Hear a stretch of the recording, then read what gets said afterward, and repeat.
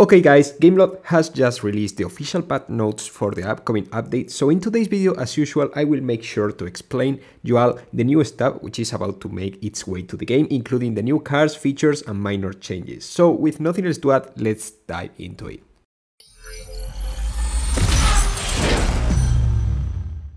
Alright guys, so the Italian Revolution Season update will drop within a few days on Android and iOS, since it's not 100% guaranteed that Windows won't have any kind of delays, and it's here with a ton of new cars, so let's begin with them. At first we have the Lamborghini Huracan STO, which honestly kinda looks like the Super Trofeo Evo we have in the class, just that this time will be a low B-class car, which will be available through Legends Pass. If we talk about the stats, it's nothing surprising really, looks like a Kepler Motion with great acceleration and handling, but you know, quite mid at everything else. Then we have what it will likely be the new highest ranked car in the entire C-Class, this is the Ferrari Daytona SP3 great top speed, which will make this the fastest Elite C-Class car, and nice acceleration, but quite poor handling, which will likely be the biggest drawback of this car. The Nitro is quite okay though, but it will be better than the Panamera, we will see. This car will have its own Grand Prix during the second season of this update. Scrolling down we can see an Asphalt 8 Classic, this time the Pagani Utopia Coupe, with a rank of slightly over 4300 points and a top speed of 367, look quite promising until I check the acceleration. I mean, it's not really bad, but considering this car won't be an Elite A-class car, I would say it will end up being a decent car for multiplayer with a solid handling and nitro efficiency, but that's pretty much it. This car in particular will be available through the first special event of the second season of this update. And now it seems like Alfa Romeo will have its first appearance in Asphalt 9 with the Alfa Romeo Giulia GTA M, a quite average D-class car that will end up being competition for the Mazda 4i, I guess. It's not a king, not a really bad car overall, but it's, you know, right in the middle. The good thing is that we will be able to lock this car completely for free through a Grand Prix which, which will be available during the first season of this update. And now I promise to you all guys that I'm trying to hype this up with something, but the truth is that aside from the Daytona, I'm not seeing a ton of interesting stuff so far. Now, for example, we can see the ATS Automobili GT, which to me looks like a copy of the S-Class car Jaguar whose name is way too long for me to remember, this time with a bit more solid acceleration. I will be honest, my Rimac Concept S it's car like this one for breakfast. However, this car has a good thing though, and that is the fact that it will be available through a special hunt just like the Ultima RS. The bad thing this time is that you will need to own the Lamborghini Sesto Elemento and the Lamborghini SC20, so it will be a bit harder to lock this car through its special hunt this time, I guess. Getting closer to the end, Gameloft decided to spice some things up, and here we have another car coming directly from Asphalt 9 China, the W Motors Lykan Neon Edition a customized version of the iconic car, but this time with way stronger stats, including a top speed of almost 430 km per hour, a quite decent acceleration and an okayish nitro duration which hopefully will be useful with not the best handling this car has.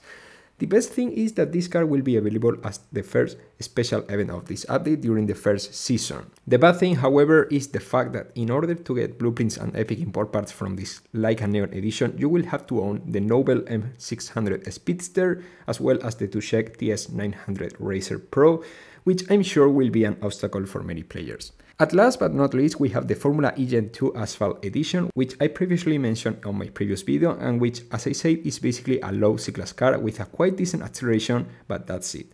This car innovates in something and that's the way through it will be introduced into the game. There will be three time limited events which you will have to play in all of them in order to lock the car. And the first time limited event will appear during this update, so I would bet that this car will take a few months in order to be fully maxed out, but we will see once it arrives during the second season of this update. Anyways, let's check the new feature, Overclock. Overclock is a temporary boost to a car stats which can be applied to a specific cars within your garage. Depending on each season, there will be, you know, a determined list of cars available for overclock. In order to overclock a car, you will have to collect overclock chips from overclock time limited events, where there will be a free try of each one of the new cars included on each season, and you can get some of the chips from shop offers and maybe in the future from other events rewards as well.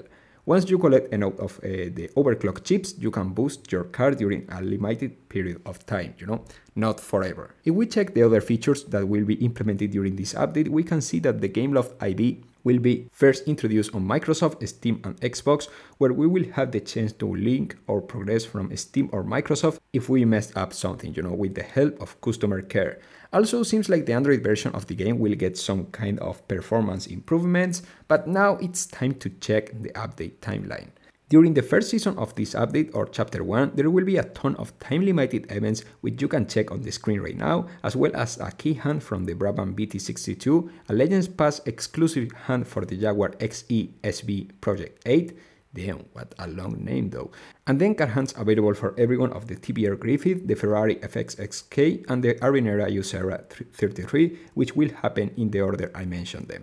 There is something else you will be happy to hear, and is the fact that you will have a chance to unlock a different car through the showcase from this update onwards. And that's the Ferrari SF90 Stradale. A really nice car for classic multiplayer and trolling around in general, which I can assure you it's worth a shot. As usual, during this first season we will keep getting Starways, this time featuring the Peugeot Onyx. Okay, so now if we have a look at the Italian Revolution season second chapter, we can see a ton of different time-limited events which you can check here, as well as one key hand for the Arash Falcon edition, a Legends Pass exclusive hand for the KTM X-Bow GTX, and then, you know, a few car hands that everyone will get the chance to play featuring the BMW M4 GTS and the NIO EP9.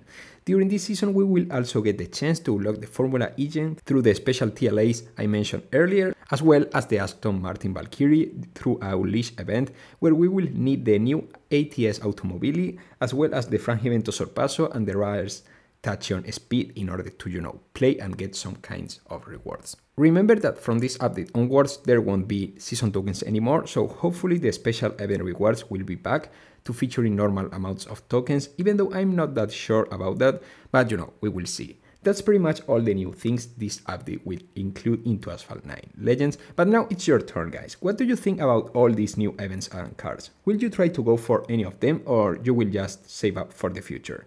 Let me know in the comment section, make sure to subscribe in order to not to miss anything new about Asphalt 9, and I will see you really soon as usual with much more Asphalt 9 content. Goodbye guys!